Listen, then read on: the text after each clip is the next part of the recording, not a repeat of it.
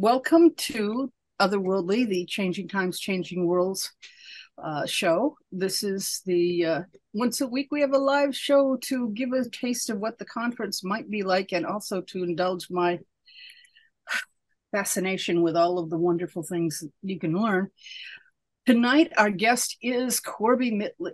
Mit, I get it wrong. Lied. Lied. Lied. Uh, uh, who is a certified tarot master, past life specialist, psychic medium, uh, channel.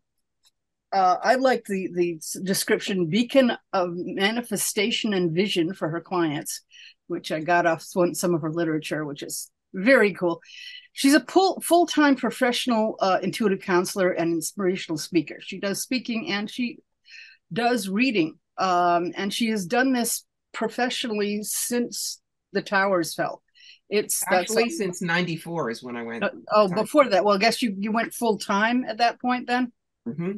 Okay, yep. and uh, she does uh, life readings at, at home. Um, obviously, you can't do that at a show because it takes you hours and hours to prepare for one of those. Um, she was uh, featured in the uh, book um, uh, your life's plan, your uh, life. Uh, let's don't know your, your soul's plan, soul's plan, your soul's. Uh, what is it called? Your, your soul's love was the most recent one, and uh, Robert did three: your soul's plan, your soul's gift, and your soul's love. But I'm having I'm having her tonight. She last time she was here, we talked about past lives, how they impact your current lives. But this time, uh, she's talking about I've kind of mushed together inappropriately or maybe appropriately her two books. One is The Psychic Yellow Brick Road How to Find the Real Wizards and Avoid the Flying Monkeys. And you've got The Magic Who Needs a Genie, which is a Lister's guide to holistic expos. And she's very practical, very straightforward. She just gives you, I don't know if there are any other books out there that can tell you how to avoid these pitfalls. Uh, so I'm hoping we can cover a little bit of both because not everybody wants to be a professional counselor. Uh, but uh, but on the other hand, if you can get if you can work with your psychic like you work with your doctor or your lawyer or anybody else, then you can get a better result. And Corbie can tell us all about that. So I'm going to. Uh, did I leave anything out? Well, um, basically, I started reading in 1973, which means, you know, Moses was in diapers. I was senior in high school. We were all hippies. We had our elephant bell bottoms, our David Crosby fringe jacket, and our deck. And the first one I had was the James Bond 007 Tarot deck from Spencer Gifts. Uh, basically, I take my work seriously, me not so much. Um, I am not one of those psychics who goes around saying, Let my aura don't stink. I have done stand up comedy about You Think a Psychic's Life is Easy. I write for rookies. I write for people who want to know. Um, because I write nonfiction, I write from my own life. And I'm 68. I am not going to be around here forever. It is time for me to pass on every single thing I learned to the next gen. So when I flip my sign, it goes from psychic medium to spirit guide. They've got the information down here and they can get started. Yeah, um, I wanted to ask you about that a little bit because yeah. I'm not clear in my head with uh, the difference between a um, uh, channel and a psychic medium. I, I always thought a psychic medium was somebody who channeled what spirits wanted to say providing them with a mouth. What's the so, difference? Psychic medium is a title people know. Um, all mediums are psychic, but not all psychics aren't mediums. For mm-hmm. me, mediums talk to dead people. They get your dead Aunt Rose. Channels, they can do angels, they can do spirit guides, they can do messages like Abraham and Seth. I separate it out so that people know what to ask for. Does that help? Yes, actually, it now I now I am clear on that. Okay, that makes sense. Okay, past life specialist. why do you say that as opposed to um, why do you was specialist as a term? the way I figure what we do when the universe hands us our draft notice and you take it and they say, Great, you're working for me. It goes rifling inside your file cabinet. We're all old enough, we still know what file cabinets are to see what you got. So, me, I was a theater major at Brown University. I was a professional actress in New York. So, I understand characters and stories. Words are my drug of choice. I'm a writer, so I can tell the stories. And I have loved history since I was a wee thing in single digits. Therefore, what are my top skills? Tarot and oracle cards. And I can weave the story for you. And past lives, because I see it like a movie and I know the details. You can have somebody else who's also good at past lives, but doesn't have the background. And we each see the same thing. There's person will say, well, it's a, a, long dress and a very fancy hat, and you're in front of a really ornate building. So I think it's like Europe, maybe in the 19th century. I could see the exact same thing and go, hobble skirt, picture hat, that kind of an ostrich feather. She's in front of the Brandenburg Gate. It's Berlin in 1911 or 12. On the other hand, do not give me a sharp pencil and ask me to do spirit art. I cannot draw a stick figure with a sharp pencil and a lot of prayer. It's not my wheelhouse one of the problems with rookies is they think they need to get everything right. No, they don't. Pick what you love and get good at it. You know, there are general practitioner doctors, but if what you really love is pediatric pulmonology, like my brother, helping little kids over CF and asthma, go do that. It really is what do you love? That's what you're going to put out in the world. Yeah. Um, well, see, I I'm a generalist. That that's my thing, mm-hmm. but it's not. Um, but I I can easily see how not picking one thing has led to me not getting really good at any one thing either. But on the other hand, I can make connections between different things beautifully. So I I, I satisfied with that. Uh, can I divert again a little bit Yes. Is it okay if I mention? I know how long we've known each other. Our well, you know, but ElfQuest. We were in our twenties. We ElfQuest. were. You you worked with the Pinis. I I just reread. I just discovered there was a the uh Skywise's adventures, and I didn't know that they were out, and I read them. And then I went back and I reread all my ElfQuest. I did practically nothing else for the last three days. So except reading rereading your books. Um, but which which parts did you contribute? I know you're an author named on that. All right, they hired me in '83 as their administrator director and associate editor. So about issue 16 of the first series. Mm-hmm. In fact, when Wendy was originally drawing the armor for the Go Backs and the uh, Wolf Riders, okay, I noticed she was just putting armor on top of them. And I said, Wendy, because I learned it from the SCA, you oh, need some padding in there. So she added the padding. So that's the first time I was able to contribute to ElfQuest. Mm-hmm. Um, eventually, I ended up writing for them uh, the Kahvi series, a lot of Embers books. Um, and they're still great friends. I mean, they live a couple of hours from me. Wendy was my matron of honor. Richard took the photos at our wedding. Um, I am a writer, but mm-hmm. I do not tell the tales that Wendy can. Wendy's gift is fiction. Mm-hmm. Mine is nonfiction. I was I was thinking as I just reread it, mm-hmm. how incredibly they express. Here you have beings that that might seem immortal mm-hmm. and yet they can die. And Wolf I wonder what's after. And oh, gee, this person who's died and they the spirits can communicate with us, but they're not talking to me. What did I do wrong? And they have the same issues that we have. And I, I just love their expression of they, they've got the healing. They've got all of the things that we have in in smaller amounts.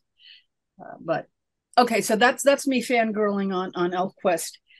Sorry about that for everybody who, okay. who hasn't discovered it. Go look for it. Uh, and uh, it's just a wonderful graphic series of graphic novels. that you can because you if you're coming to it this late you can binge which is well worth doing okay um so you let's get getting back to interactions between uh uh to between clients and and readers. Mm-hmm. what's the best way how do you empower? As you said you don't you know nobody is accurate all the time. And uh, but your, yes, your my, point my is line is empower people. Even the best of us are only 85% accurate. The only one 100% accurate is god and god is not doing phone readings this week. You see you got to get him to laugh yep. as long as you don't come across as I'm a great reader. My aura don't stink. You poor thing, I will read for you. That's like the gypsies that go, Oh, you have a family curse. How many in your family? Four? You have dog? No, we don't go there. Um, never met one that did that, but oh, oh, oh, that's why I wrote this book. I was doing a show about 18 years ago in Toronto, and it was 250 booths. And the fake gypsy was across from us. And there was a woman who was going down the aisle looking at all the booths. And this gypsy comes out from her booth and grabs the woman's arm. And in the parlance, that's called hooking, and it's as bad as the other kind of hooking. And she says, You don't need to pay 30, 40, 50 dollars. I read your palm for 10. Come, drags the woman into the booth behind the screen. 20 minutes later, we see this woman leaving crying hysterically. A bunch of us run over to find out what happened. And the hmm. woman did say she had a family curse. And if she didn't burn 400 specially blessed candles at the Roman Catholic Church, I bless real good, only $1 candle. Her entire family was going to die in two weeks, and she bought it. That's why I wrote this book because people need to have awareness of what's real and what isn't, how to choose a good intuitive, what we can do, what we can't. Yes, Miss Jane. Hi, so good to see you. And you too, I, sometimes when I'm doing divination, I get a flash. And there was once I was reading runes and came out, and it's not Norse, it went chocolate.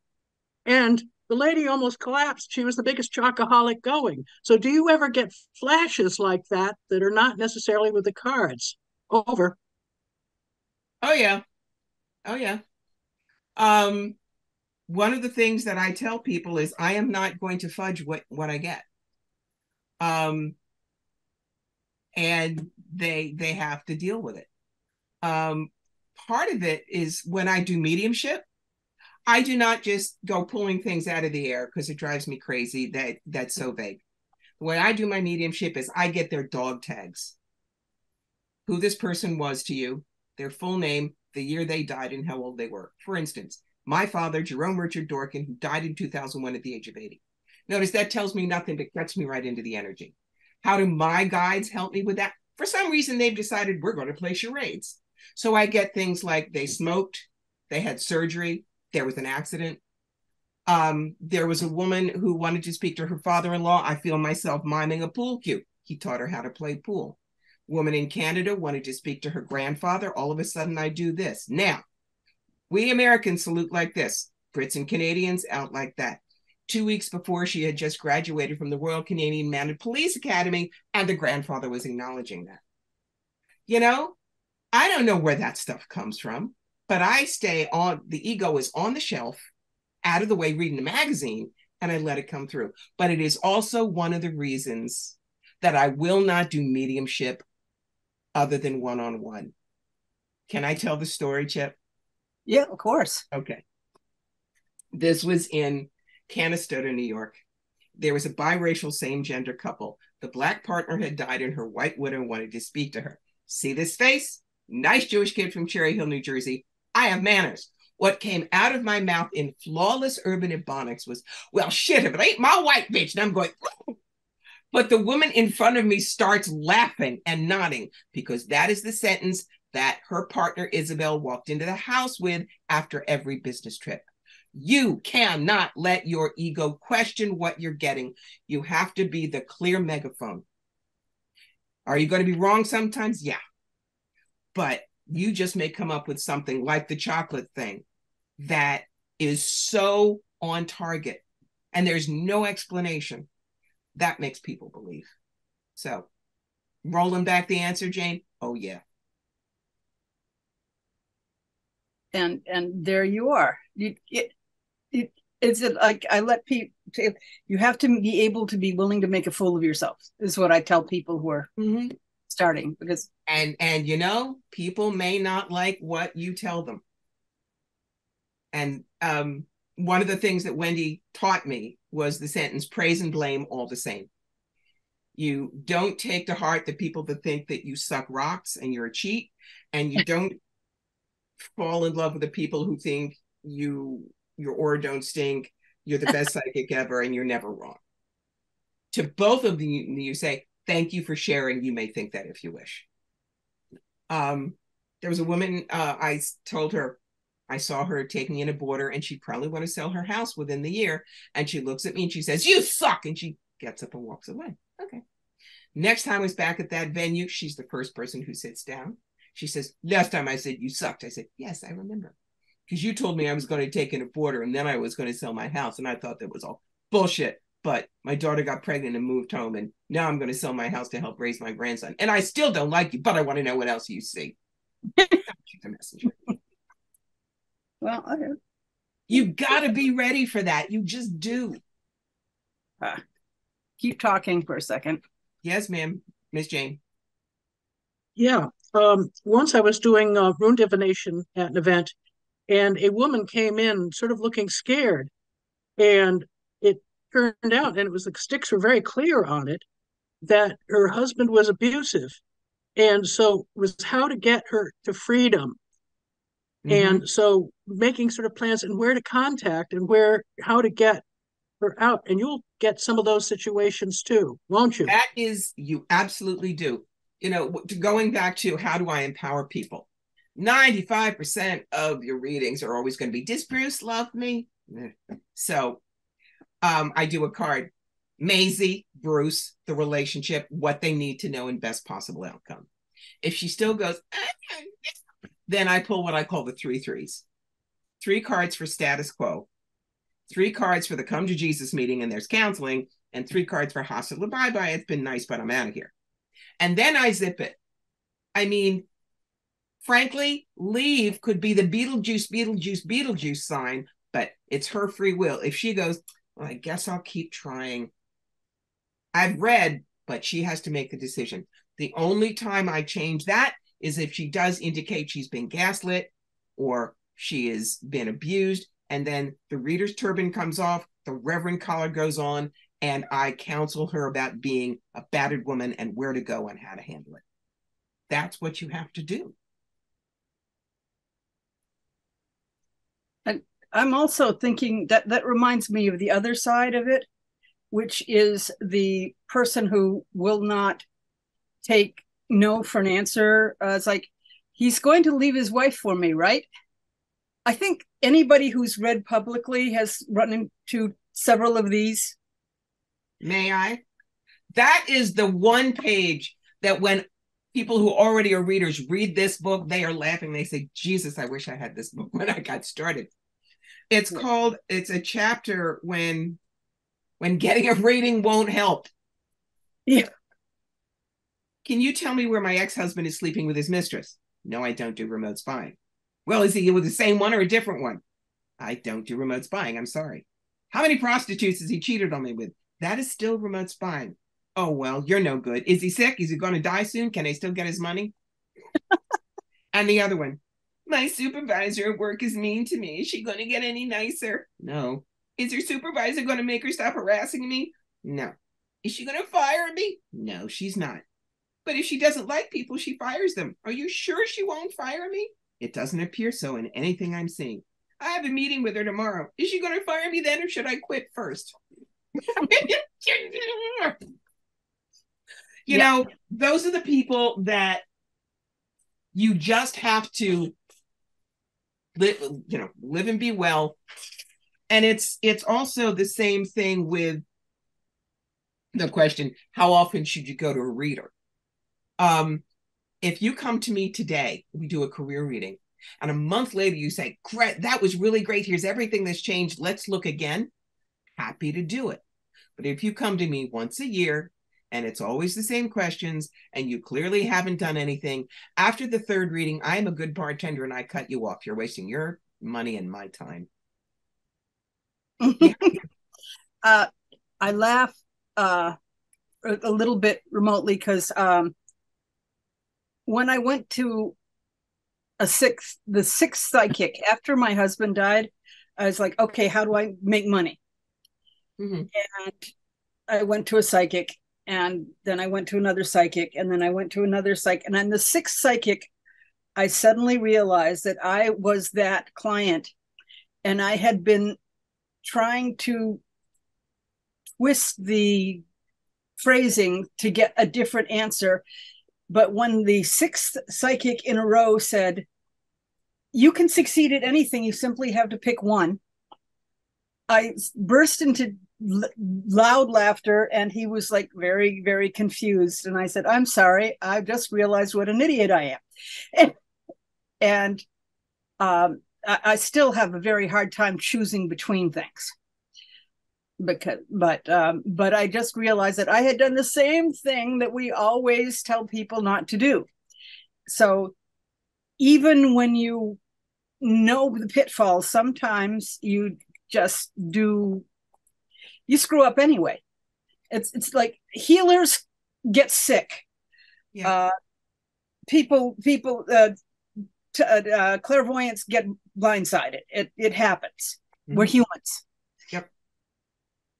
Um, so um, let's see.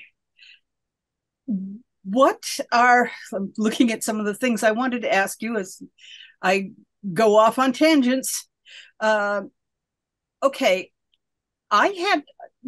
If we could switch over from going, you know, how to how to get a good reading and how to work with a psychic. Wait a minute. Before we do that, what advice would you give to anybody who was going to go to a psychic? Uh, Yes, in your book. Psychics buy, buy Corbie's books. I've just put them on the in the chat. Stop. um, what? Look, people understand mnemonics. Remember PTA, Parent Teacher Association. So I give them words. The mnemonic for how to prep for a great psychic session is the word answer. Accept responsibility for your part in the session. No pop quizzes, no comparisons. State your intentions clearly. Widen your horizons evaluate your information, and then respond to the universe. I am not the kind of psychic that if you say, I know, just I didn't have any questions, I just wanted to read it. Tell me what you see. um, you know, fluff begets fluff. When you come to me and say, just tell me what you see. I, I'm fast, baby, but I can get A to L in your life encyclopedia, and if what you wanted is down here at T, you'll go, oh, she's terrible. She didn't tell me anything. So have your list. I love questions. Um, and I will do a drill down. For instance, well, when people come to me, um, especially at psychic fairs, I hand them a rack card. Tells a little about me. These are important. But I will ask them, what is the most important thing you want to get out of your knowing? And if they go blank on me, I'll go Brooklyn on them and go, darling, what's biting your butt? Because everybody, you hear that, they'll come out with something. And if they say career, I'll go, terrific. Do you want to stay where you are, change jobs, or open your own place? That is not cold reading. That is, I have three multiple card drill down readings for these specific things. So let's say Chip came to me and said, All right, I'm finally going to open up my own reading parlor and crystal shop. I would not flip three cards and say, Wait until October and fire the second redhead. Gives them nothing. It would be a card for uh, a card for any partner she had, a card for the energy around the business, the brick and mortar location, how to market it, clients, competition, staff, finances, what they need to know, and best possible outcome. Now, why do I know how to do that? Because before I was a psychic full time, I was an executive recruiter for engineering and manufacturing, placing people in six figure jobs. There is no shame in using your back history to make you a better reader. None. So instead of she said, I can't do this, people are empowered. They see all of the possibilities and they are fired up to go make it happen. Do not ask me a yes or no question. Um, like, is my business going to succeed? Because then, what if I said no? When you say, How do I make this happen? How do I rock and roll on this? Then we give you all of the energy that you need. If it's not going to work, I will tell you. But my philosophy is here are your opportunities and how to grab them. Here's the tough stuff. Here's how to get through it or around it. Here's your toolbox. Go rock and roll. I hand you the toolbox. I am not the repairman. It's important that they know that. Okay, we got a um, we've got uh, un- unmute ca- cathedral.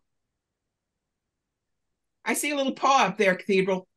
But you There we got go. Okay. There we go. Okay, Okay. Hey, um, I have a question, please. this is Deb Gedney. I'm Deb. So, yeah, I'm Amber. Yeah. Uh, nice to meet you. So Well, I had an experience once where I was reading and I had one of those flashes that you talk about. Yep. And I've often often wondered because it only happened once and not before or since. Mhm. But I pulled up a card and I got this flash of silver and then pain, right?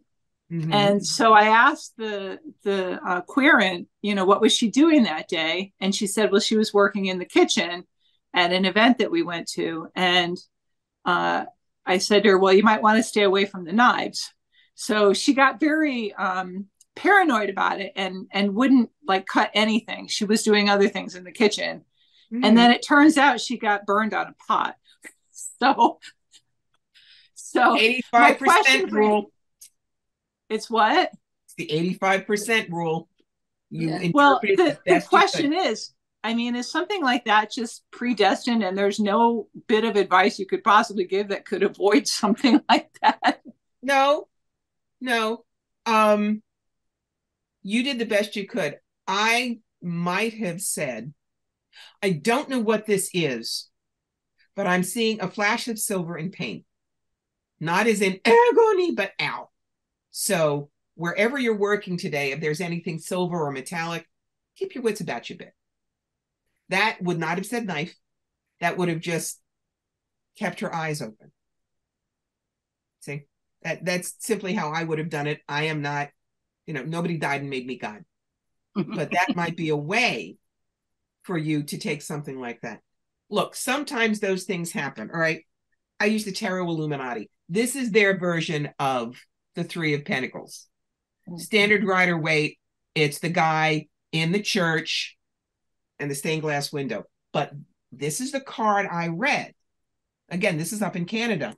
And I looked at it and I looked at the couple sitting with me and I said, I have no idea why I'm saying it, but I think there's a deconsecrated or abandoned church and you need to open up a cafe bakery there. And I'm thinking, they're going to call a paddy wagon. And they look at each other and they look at me and go, Oh, yeah, we know which one. We've been arguing for two years. That's why you just have to let it out. You cannot let your rational mind go, don't say because you'll lose the opportunity. A, to give them the information that they need, and B, to look fucking awesome. And there's nothing wrong with that. and and why not? Mhm. Um, so um, so there you are. I I am kind of wondering about the. Um, I'm picturing you at these uh, in this sea of what do they pipe and drape? they give you their ten by ten cubicles. Yep. Uh, there you are reading uh, so um, in the in your in your book about uh, what do you, what do you need with a genie? You got to. That one. I've only visited a couple of those those types of of expos. There's a you got your table up front, and then you're behind the table. Is there a Can you arrange? Can you arrange so How do you get privacy? open up share screen if you can, so that I can share with you, and then I can show you some. Okay. Uh, Kipacom, we also have a Okay. hand up. So I think I did. Yes, you did. Great. All right. Hang on one second. I was just thinking privacy, and I was picturing how how do you get privacy in that situation? I want to work it with you. Hang on one second. DreamsTime. Name Okay, I don't know what I just did. Corbie. Let me put my glasses on or I'll never know. Psychic Fair Booth. An unknown error occurred. Let's see. So Huh. here is my usual booth in Kitchener. Okay. Oh, okay. Yeah. And then nice. somebody's booth next to it. Right. It's 10 by 10. But look, look back here. I have my long table. I Yeah. sit there. My client sits there. I can pitch my voice so that it's just the two of us.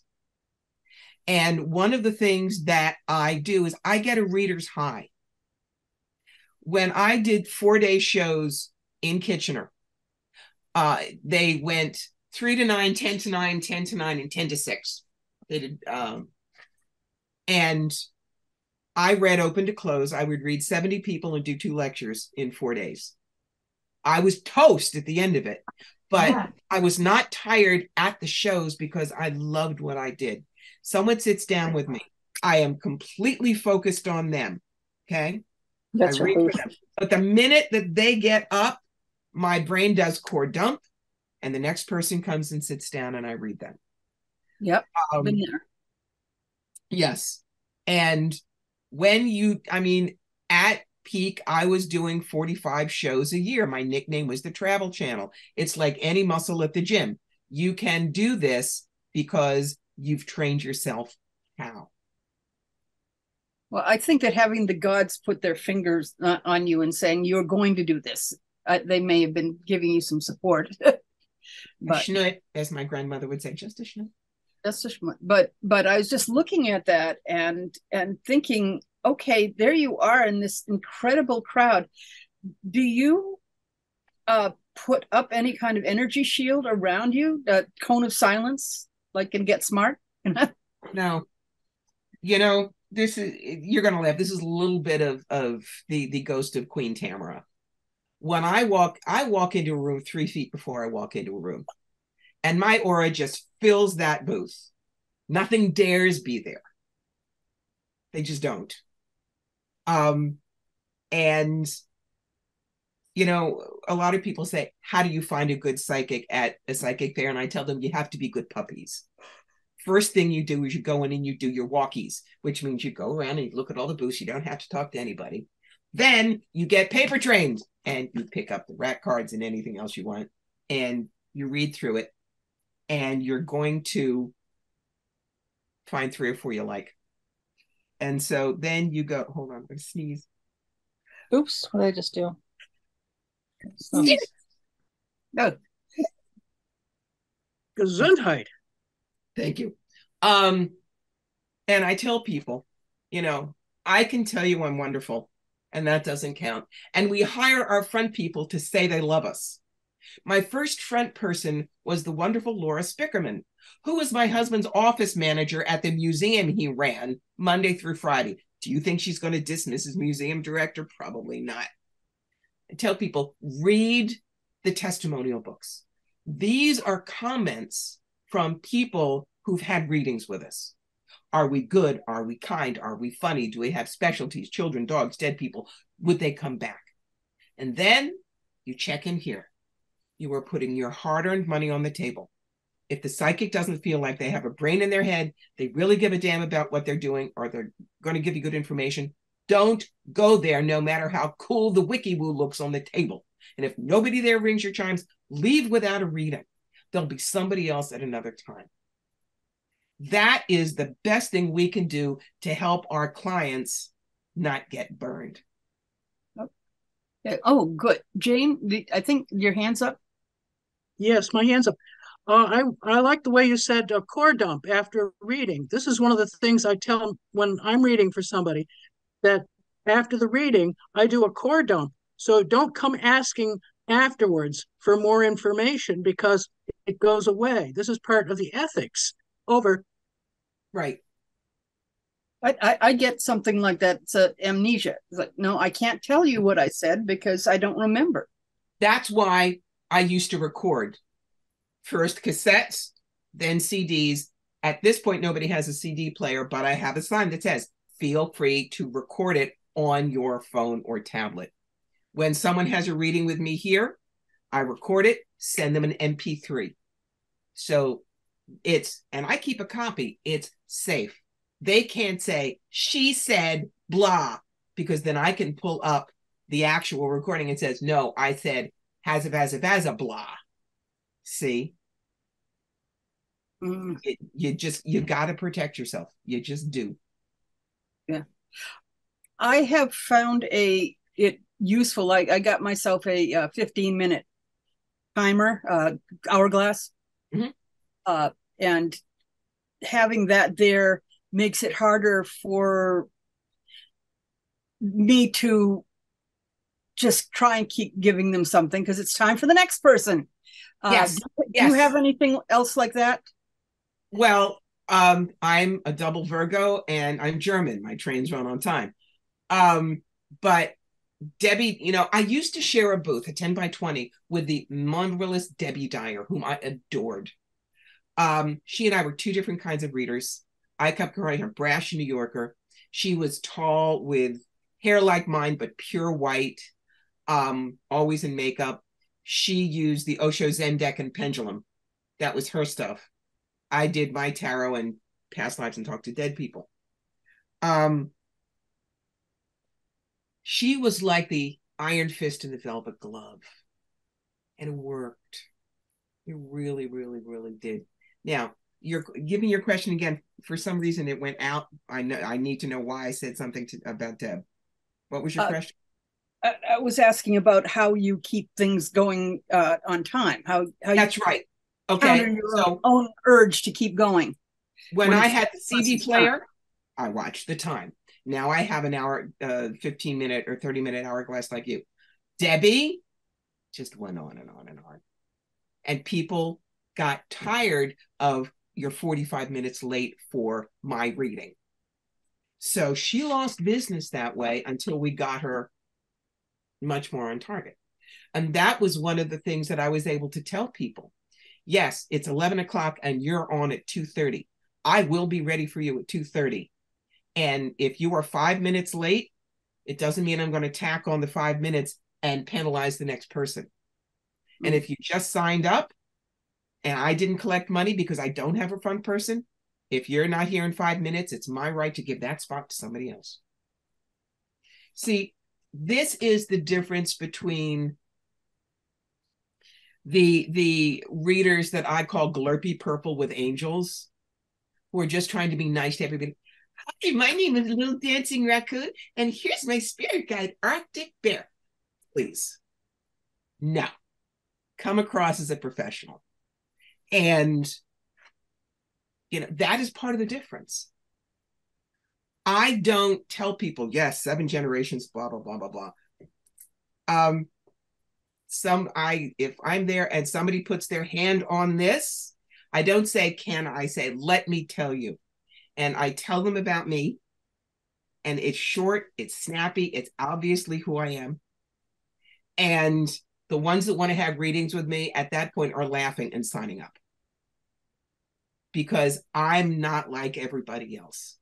Which is why I have no problem if there is a rookie there, I will bring them over to my booth. I will give them samples of everything I do. I will answer every question they get because they're a different flavor reader.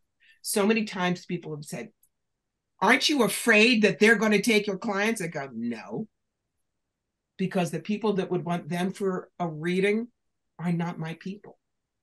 It's one of the reasons why when Debbie was doing a lot of readings and I wasn't, it was just my people aren't there. Not, oh my God, what's wrong with me? You got to be playing the long game, or you will not let you will just you'll kill yourself with agita every time. And that underground desperation is going to show when you're talking to people who might have a reading, and they're not going to trust that.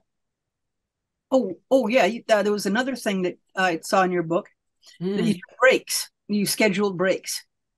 That sounded brilliant to me. I I Yes. uh, I read once at a fair back Mhm. when I, I was nursing a baby. They would bring me the baby. I would nurse. I would keep reading. Uh, one person would sit down the second that the other person stood up. Uh, somebody brought me a drink. I drank it at six when they closed the fair. I didn't get it. this Nope. strikes me as I wasn't doing it right, and you are. So share that with us. Hold on one second. I want to see if I can pull it up for you. Okay, we're going back to the screen. Okay, here's an example of my sign-in sheet. One line for focus sessions, two lines for comprehensive. Focus session sounds better than mini reading. Comprehensive is just a general reading. But notice I printed out and the breaks are there. It's filled in. Nobody can say, well, can't you change it? That happened to me once. I was literally wolfing down a sandwich, and a guy leans over my booth, pokes my sandwich, and says, Hey, my wife needs a reading. You don't need to be eating right now. Can we have a reading, please? And my front person went right in front of me and got him out, and uh, you know, he did not come to the booth. But the thing is, a lot of people will treat us like we're a burger, a latte, or a car wash unless we have our boundaries and say no. Somebody comes up to me and says, Yeah, well, tell you what, why don't you tell me something you couldn't know about me? And uh, if you're right, I'll have a reading. I look at them and I smile and I say, I'm sorry. I don't roll over and fetch either. And I turn my back and they do not come in the booth. And I don't care how awful I sound. Boundaries, yay. Boundaries and New York Tude. Yes. Mm.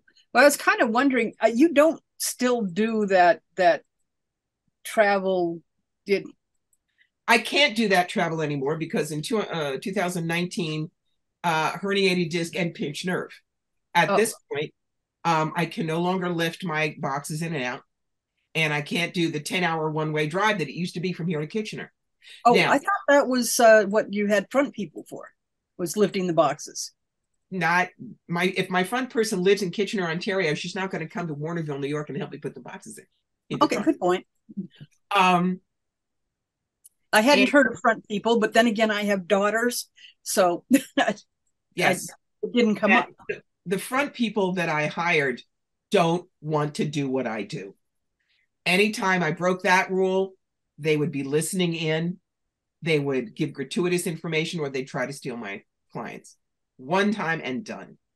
So my best people were Laura Spickerman, my husband's office manager, uh, Stephanie Lalonde, who is a brilliant French teacher, and Denise Langell, who teaches at RIT and is also uh, someone who speaks ASL. So for a while, I could read deaf people, which Oh, else could do. Uh, it was hard work for everybody, but we managed. Um, the whole point is, I, I will still do some shows. I do them in Saratoga. I'll do them out in Syracuse. Uh, you know, it's two hours, and Carl can help me load in the car and load out, and I have you know people there to help. Um, but the travel I can't do anymore, which is why I wrote the book. Why should everything that I learned in 18 years go wasted? Here, do not reinvent the wheel. Mop the Leathers did it all for you. Really, and uh, whoever is watching this on YouTube, whoever is listening to it here, this is a, a book with more practical use u- utility. Like the idea of telling people to take breaks and having a front person, how to te- train a front person. That's just so nice.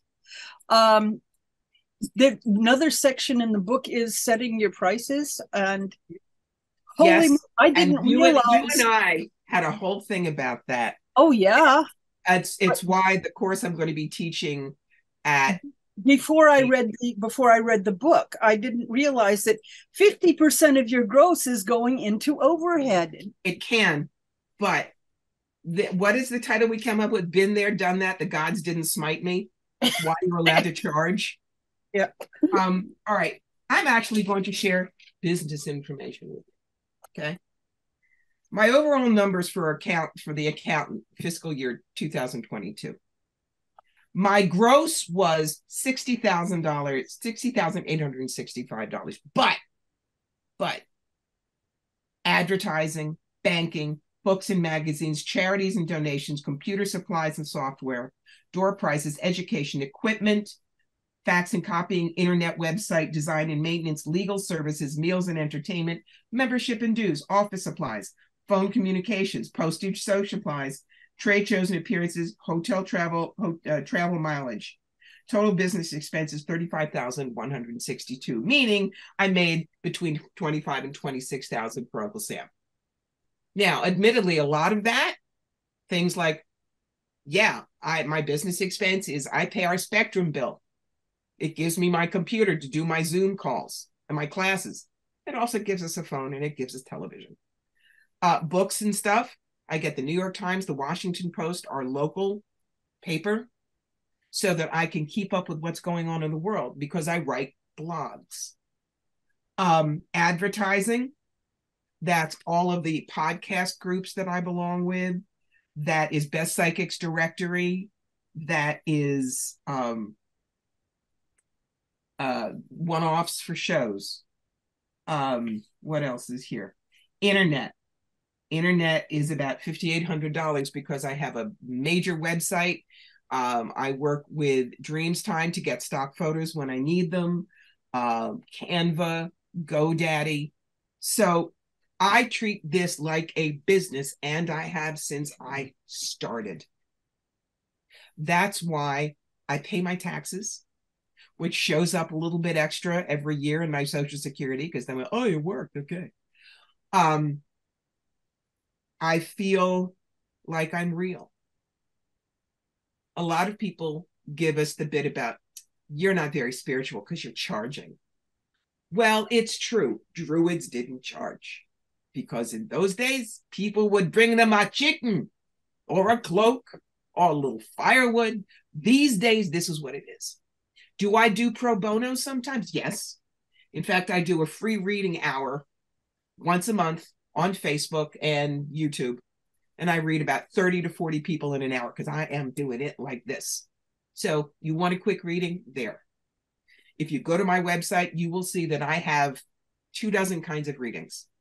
Your burning question for $24.95 takes me four minutes to do, and I send you a recording. All the way down to my soul plan readings, which are like the work I did for Robert Schwartz. You come to me with why did my child die at 35? Or why did I come in with an abusive father? Then it involves numerology, it involves deep trance meditation. I pull down two to once as many as 10 different past lives in detail, and then I'm on the phone with you for an hour that night. That reading is 600 bucks because you've had me for the whole day. But I downsell myself. I discourage people from the soul plan reading unless there's no other way they'll get the information. You think you want a half an hour, uh, an hour with me? I'll say, first time you've had a reading with me? No, no, no. Get a half an hour. You don't know how fast I read. and people are amazed that I downsell. But it is one way of proving to them, yes, I'm making a living at this, but I'm not going to fleece you. And I work six days a week. Um, I don't work Wednesdays. This is a favorite to Chip because I've known her forever. Um, Tuesdays I reserve for soul plan readings, but I only do that every other Tuesday. So the Tuesday I'm not doing that reading is when I do my spiritual reading and my own stuff. And I work Thursday, Friday, Saturday, Sunday, and Monday. Am I working constantly the whole day? Oh, I wish I was. No. Um, I'll have one reading to sometimes as many as five. In the end, I I do about 800 to 1000 readings a year. But when you realize the year is 365 days, it's not that many. It's just that I have arranged this to be a business. That's why I look, when you read online, you can read somebody in Rio de Janeiro, even if they don't want to come to Cobleskill, New York with the sheep and the cows. Mhm. I admit the fact that I'm in Robert Schwartz's books made this so much easier for me because those books sell everywhere. Okay. Now, Rob now has his wife Liesel, and Liesel does all the channeling. So all of the sidekicks that he used are now kicked to the curb. You know, we were spear carriers. We our work didn't really matter. It was all about Rob. Let me be that. um, Not Right. kick to the curb. me the start I Maybe more convenient. No, no. Um, I'm not going to tell tales out of school, but okay, um, I'm not going to ask. But good. Don't. But you also need to know that all of the work we psychics did for his him and his book, we didn't get paid a penny for all the work we did. Now that's either bad or good. People will say he used you, maybe, but because we didn't get paid, nobody could say he paid you to say that. So it's a double-edged sword. And now people do read the books and come to the two people who are doing still doing readings are myself and my buddy Staci Wells. And it's it's decent work, but it's only part of what we do. It's only part. But that's why I've managed to get the international rep. I have taken every single advantage I could and done honorable work. Was your hand up again, Jane? Yeah. Yeah. Um, Okay, in let the me get older to Lois. days, Let me get to Lois first because we've been you and I've been talking a lot. Lois, what what's going on? Uh, quick question. Your bio says certified tarot master. Yep. Certified by who? The Tarot Guild. Okay. Thank you. And I, was, and I was a certified professional tarot reader through the Tarot Certification Board of America, which is no longer around, but I'm still certified. Do you think that um getting a certification like that is beneficial?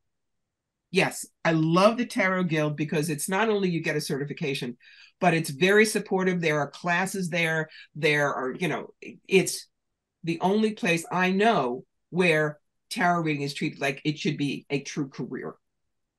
Really, it's wonderful. So, yeah, yeah, yeah. Yes, Miss Jane, now you. Okay, in the older days, we uh, soothsayers, we were the counselors, the, the equivalent of shrinks, and uh, many people would come to us um, for um, advice, and it's it's interesting that now there are professional psychologists and psychiatrists, but back in the old days, it was us. Over. Mm-hmm. Yeah. Uh, is We- part of we why you're are. You're re- you you mentioned that's why you it's useful to be a reverend to Yes. Um, people say, how come you're a reverend? Well, number one, before gay marriage was legal in the US, if I had friends batting for the same team and they wanted sacred ceremony, by God, I was going to do it for them. And secondly, south of the Mason Dixon line, more than once I've been told, You're an evil fortune teller. You're doing the devil's work. We don't want you here. And I'd say, Oh, no, I'm a reverend. See, I'm doing spiritual counseling. Oh, Reverend, we're so sorry. You go right ahead. Thank you. I'm south of Mason Dixon line. I'm in North Carolina. Mm-hmm. Oh yeah. Uh, look, I lived in Atlanta for seven, eight years. I can still give directions by the big chicken, but I'm sorry, I'm a New Yorker. Are I'm there- is- Magnolia are there- Island bagel. are there as many ghosts there as they say Yes. yeah okay i was just wondering Yeah. but um okay I, I want to get to we're getting close to the end um Look, I don't know about y'all. If you want me to stay a little longer, I can do that. It's up to you, Chip. uh well i'm going to uh, i will i will hit unrecord i will stop recording when when gets to that point Okay. uh i always one of the things i noticed is that you don't want to read for the minors Mhm. and considering how one little thing can stick in your craw for 50 years uh and you, i think you may be more open to it when you're younger is that is that the main reason No. or is it legal when you are younger, you don't understand archetypes, you don't understand figuratively speaking. You think it's literal. And I don't want to see a 14 year old spending 50 bucks for 15 minutes with me to find out are they going to pass geography and will Billy ask him to the prom. Now, if the mother is there with them and it's clear they're an indigo or a crystal or they need, then psh, absolutely I would be happy to work with them. But only then.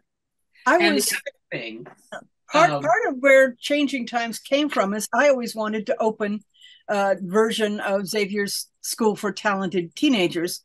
Yeah. And I just think that when you are manifesting psychic abilities and you've got nobody who can help you learn how to use them, it's it's it's it's frustrating and and can lead to some really some of the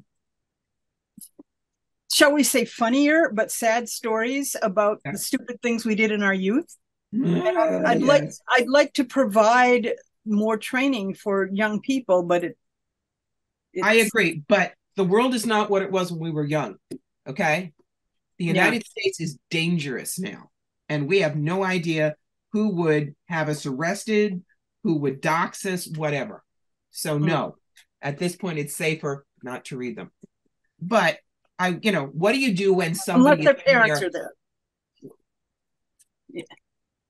what do you do if somebody is there with their toddler? Mm. There's a thing to do. All right, so I'm trying to read this woman, and her toddler Muffin goes. She looks at me and says, Corbie, could you pull a card, please? You don't want to chance a deck because what if the kid goes, Oh, look, Muffin. deck." No. Have a children's deck that you can pull out. This is called cat wisdom. And it's things like, Ooh, family is good, Muffin. Or Muffin, are you ready for your party tomorrow? It, you know, and then Muffy gets her card. Mom is fine, and you can go back to the reading. You do not want to be responsible for the kids' nightmares. So, see, this is the kind of thing that is not taught except if you're trying to do a business. And it's the same thing in the book. I have bits called Corbie Gets Candid, which are the little brown things. Yeah. And um I think the first story in there is um when I was in London, uh London, Ontario, I did a reading for a 20 some year old young man who really didn't like what I told him. And the next day I had an anonymous death threat on my table. But everybody at my booth signs in with their handwriting unless they are so disabled they can't. So we took the note, we took the sign in sheet, we matched up the writing, and we handed it off to the police. This is not love, light, and unicorn farts anymore. You've got to protect yourself. That's one of the ways you do it. Now, Chip, you were saying. Oh, I I was um. Well, the, the, the thing that I would the next thing I was trying to go for was um, I just want to tell everybody I put a link to the YouTube channel you have um, on YouTube, which I kind of binged on. Um, and you you've got uh, guided meditation, Corbie's Wayback Machine, which is your past life perspectives, several tarot card spreads that you have created. Uh, is there a um, tarot card spread you'd like to share with us, or Sure. I Um, see you put them on your Facebook page? I think. Part of Uh, it. Um, the two that I use most often uh, is that two step on relationships, which is person, person, relationship, what you need to know, and best possible outcome. And if they still don't know what to do, use the three threes status quo, come to Jesus meeting, send him a postcard, I'm gone. When you do the entrepreneur stuff, um, that's again them, the energy around the business, the brick and mortar location they're looking for, how to market it, clients, competition, staff, finances, what they need to know, best possible outcome. What if someone says, Well, I want to leave, but I don't know what I want to do? I think it's something like, you know, probably something to do with healing. I'd go, Great. And then I would, again, pull cards to see where the energy is.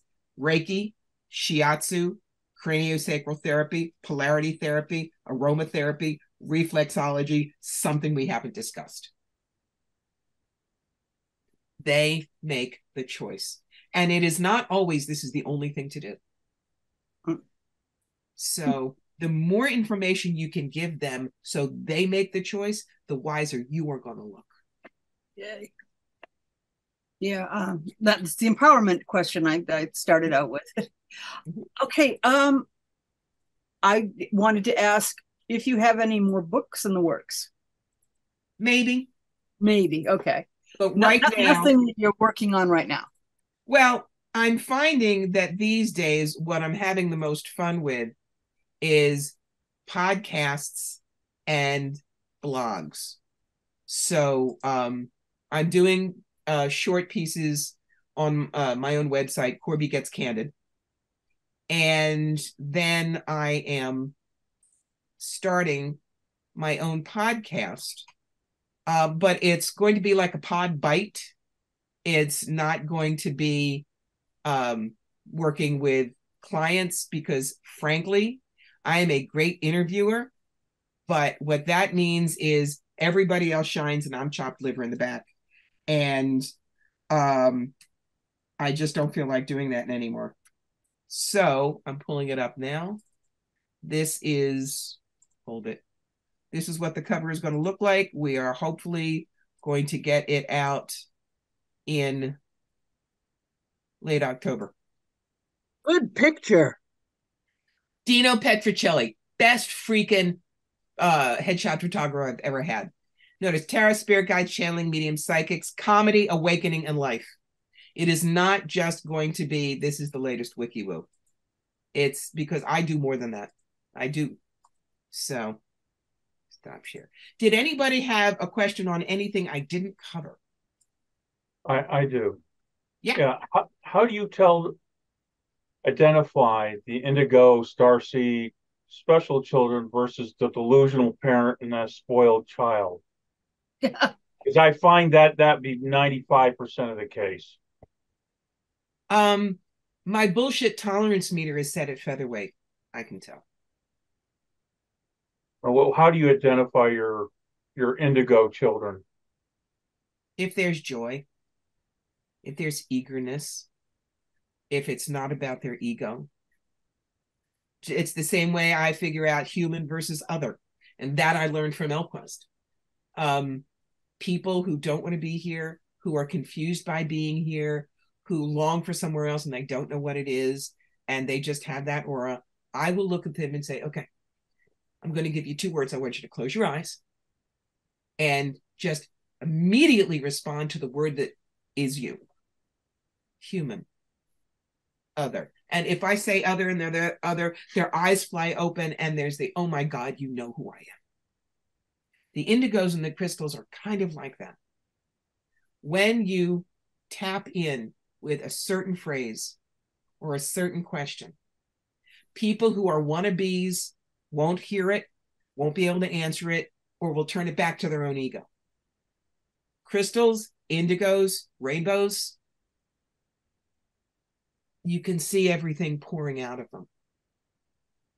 Questions, delight. That's how you tell. That's awesome. Thank you.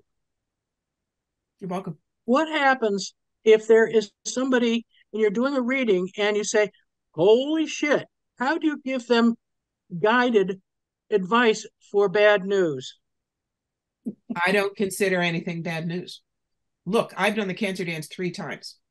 Notice I don't say I fought cancer because what you fight fights back. And I am not a survivor because that whole word means hanging on by teeth and toenails.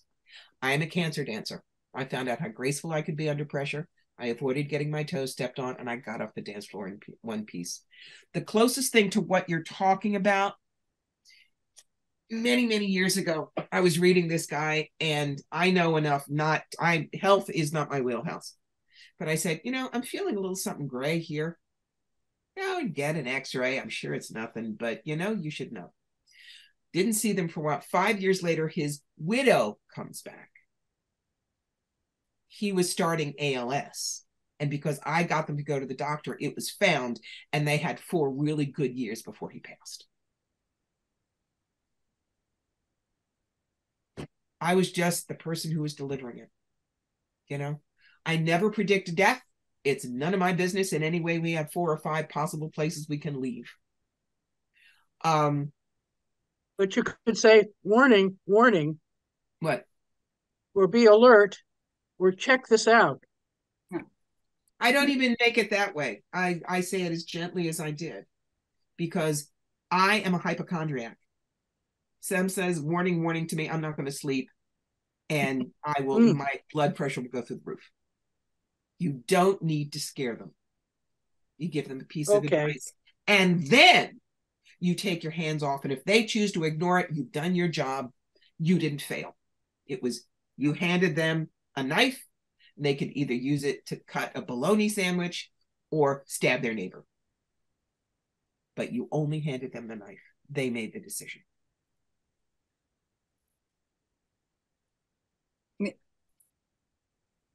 I, I I was thinking about that with this is why doctors don't don't give you a prognosis either because they may not may they may think energy healing is wiki woo but they know that the placebo effect uh, is amazingly powerful and that they really can't predict because they don't know. Somebody's you know every so often the doctor says i pat i don't know why you're alive. It's been three years and and nobody nobody lives with with liver cancer for three years. So i don't know why you're alive. And they don't. So that's why they don't want to ever it's really hard to get them to nail it down and i respect that i used to it used to drive me up the wall Mhm. but back when my husband was doing the cancer dance it just wouldn't tell us anything just keep it right on the now but And now it's the lawyers. it's what It's the lawyers. That's Uh, why they can't say anything. Mm. But but you know the placebo effect and the nocebo effect are really very powerful, and one and I'm glad that they respect that Mhm. uh, for for what it's worth. But uh, anyway, I see we have gone past the end. Uh, uh, do you have anything else that you wanted? Do you have any uh, events you're doing? Any other projects you're up to? Uh, well, you know, the podcast is the big thing. Um, I'm psyched doing, about that. Uh, a show in Guilderland. I'm doing a show in Saratoga. I'm doing a show in, in uh, Syracuse in February. Um, I probably do between two and four podcasts a week, and you, you either find them on my website on the Where's Corbie page, or they're on YouTube on you know, Corbie interviews. Um, there are like 150 different articles on my website. Go read, enjoy. The only thing I will ask is if anybody here does choose to buy the books, please, for God's sake, leave a review on Amazon until you have 50 reviews. They put you on the back shelf behind the pickles and nobody will ever see you. Oh, you haven't got that yet? Okay, uh, No. I'll. No, and the books, uh, I've got 37 for the book that came out in 2017. I got something like um, 29 for Psychic Yellow Brick Road, things like that. Well, thanks for the reminder. I will. I shall go do that. Probably not. But don't say you know me because then they won't publish it. Good point. You Excellent know, point. think, oh, you you you know, you bought her dinner or something. She's saying something nice. So Uh, so, any any uh, do you have any good ways? This one of the things about changing times, changing worlds that Jane and I, why we started. We're trying to get the New Age people to talk to the pagans, to talk to the spiritualists, to talk to the dowsers. Got any brilliant ideas on how we can help get people together like that? Well, I my my first idea is it- stop you being gotta, it, it's all about your or don't stink. What did I say first? I take my work seriously, me not so much. Mm. That's the problem. Ego, and I am wiki wooier than thou, is the thing that will destroy the community faster than anything else. We are all in this together. Maybe I was a druid in my last life, and next time you're going to be an accountant in Des Moines. These are parts we play, guys. We might as well play together and play nice. Because we are only one act. You know, when people, I want to leave with this because sometimes people don't understand. But I thought the soul reincarnates. I thought I reincarnate. I know I'm not going to because I'm so tired. And I use the example Matt Smith. I say, okay, Matt Smith. We all know Matt Smith. He was the 11th doctor on Doctor Who. He was my doctor. But when he hung up the bow tie and the two short pants, he went and put on the naval uniform for two years playing Prince Philip in The Crown. And when he was done playing Prince Philip, he hung up that. Now he's a whack job in House of the Dragon. The doctor, the prince, and the whack job are all like incarnations. They're one and done. Matt Smith is like the soul, the higher self, that makes them all happen. he animated them, but they are not him. They're parts he played. And when you can give concrete examples like that, people get it and the information gets in, even if they don't understand metaphysics per se. Allegory is your friend. Tell them stories. Well, I'm just going to say that's a great place to end up. Uh, reminding people that the Changing Times, Changing Worlds Conference is the third to the fifth uh, in uh, 2023. And uh, I hope you'll come. Corbie, I believe you're only going to be there Friday. That's right. That's Yeah. right. Because it's a drive for me, so I can come So down. if you, if and you yes, have, I will have the books. I will have the books with me. yay, yay. Okay, so I'm going to uh, stop the recording now. And Corbie.